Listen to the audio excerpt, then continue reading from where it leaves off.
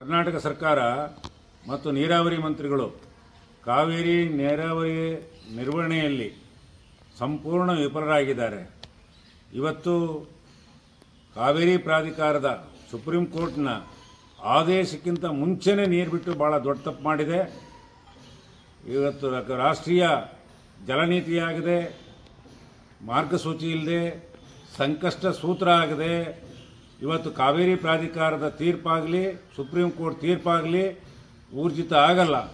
ಅದನ್ನು ಸರಿಯಾದ ರೀತಿಯಲ್ಲಿ ಕರ್ನಾಟಕ ಸರ್ಕಾರ ಇವತ್ತು ನ್ಯಾಯಾಲಯದಲ್ಲಿ